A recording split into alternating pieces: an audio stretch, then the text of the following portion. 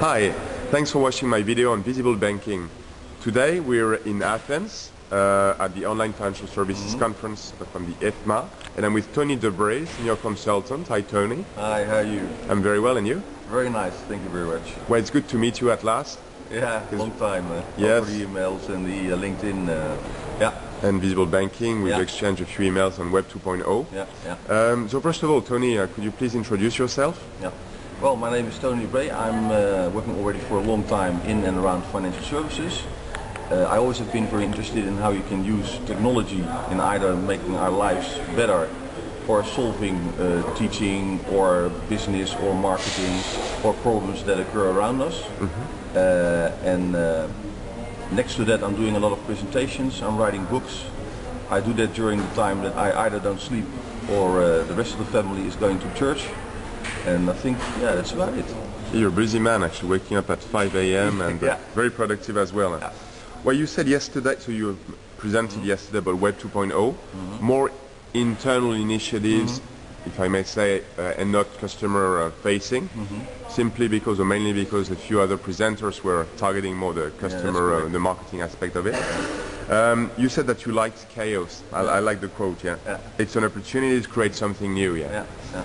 So I really see like opportunities and not risk. And as you said, chaos could be good as well. In 2001, I believe you were one of the the people who um, advised to Yeah. potentially buy PayPal, Yeah, that's correct. Yeah. and we know what happened Yeah. since then. Yeah, yeah.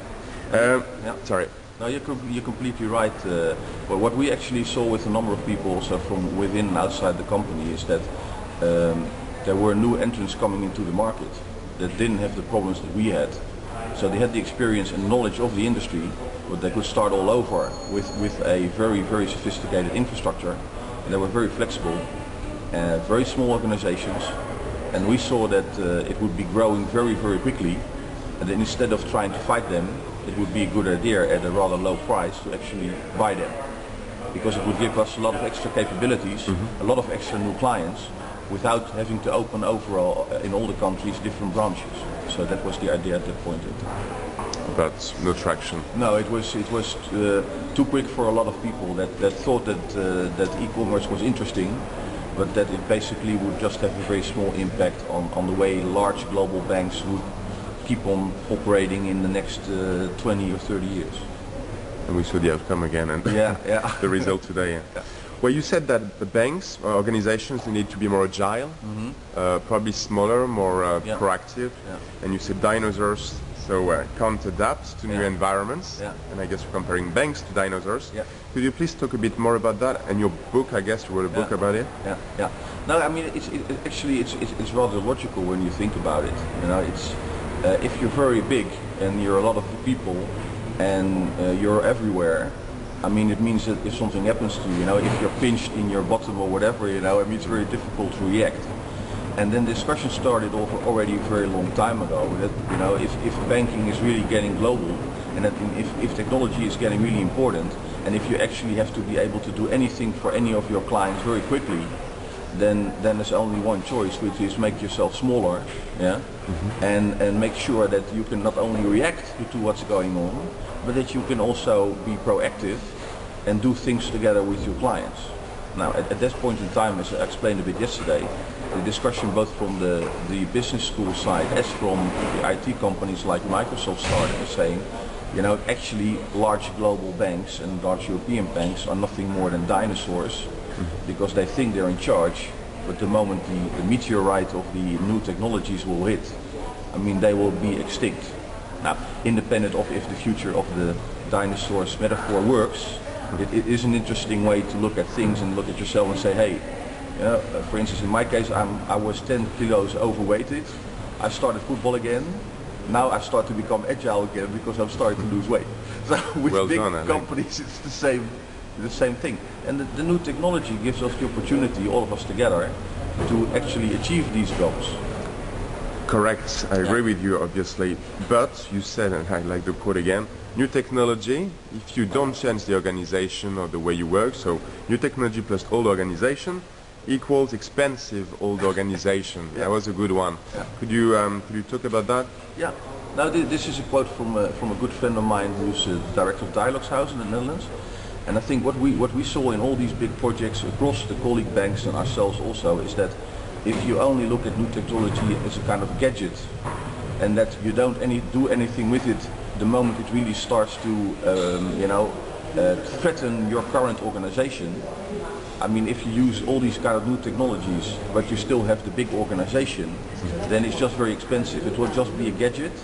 And, and we think that's one of the main reasons why in, in a lot of big, big, large banks, the new technologies like social media you've been talking about yesterday, or Web 2.0, have not been taken up. Mm-hmm. Because if you really implement these things, it means that a lot of traditional large parts of the organization will, will, will not have a purpose anymore, in, including the large IT companies within and outside of large banks. So they see it as a threat, Indeed, yeah, not an opportunity. not an opportunity. yeah. It's good to see the commitment from a CEO, like Yeah, you talked yeah. about Dialogue House and the innovation, uh, the building you have, uh, cutting edge.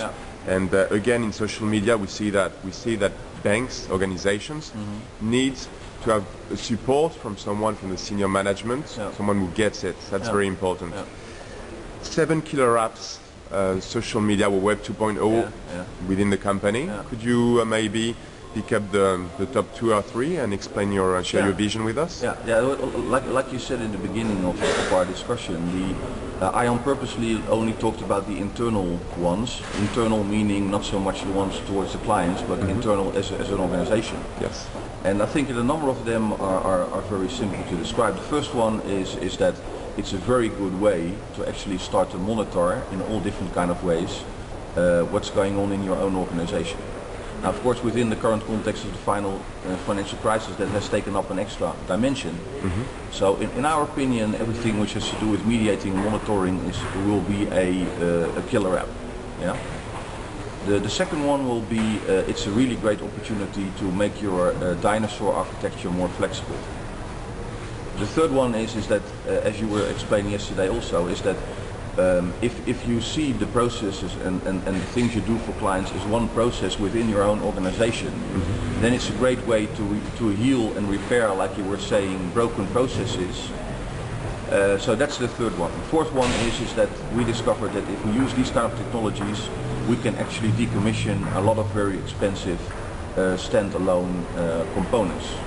Uh, my famous example is workflow tools and all kinds of other things that the functionality of these kind of things you can you can easily replace by a number of the, the, the very sophisticated Web 2.0 tools which are now in the market, which are rule driven and, and which can be changed and implemented rather quickly. Uh, my next one would be global compliance. Again, a very hot topic. You worked in that before, just like you explained to me. Is that we, we found out that we it's very easy with these tools to implement local uh, EE compliance applications, in which you actually also can can cover the big problem we all have is that there's a difference between global legislation and local implementation. And we saw that, that both in terms of time and money, uh, it was really rather easy with the knowledge that you have in the company to implement these kind of uh, applications. Again, being part of your commercial process. Yeah. So if I take a small example in the Netherlands, all retail clients in the Netherlands and all new clients in the Netherlands that have their own company, they automatically are monitored and risk assessed by this module that we have in the Netherlands. So nobody knows it, but it's already part of the, the, the business process. And it takes a lot of work out of the hands of the, of the sales managers and the business support people also. And for compliance that's very good, because if they know that it's done in a proper way, then it's actually management by exception. How did you, um, can you talk about ROI just for 30 seconds? Uh, how did you sell those projects, those concepts within the organization? Well, there, there were actually different ways. The, the first one was is that we, we, we, did, we did it in a number of countries uh, worldwide. And the, the limit was very easy. We didn't have more than two and a half million euros. And it had to be done. And nobody was able to do it at that point, at that time, in such a short period of time at so low cost. The other ones was is actually that uh, in, in the compliance space after 2004, a number of big projects with traditional providers had tried to build it and it didn't work and it cost a lot of money. And, and then they were, we were asked, you know, do you have any other ideas?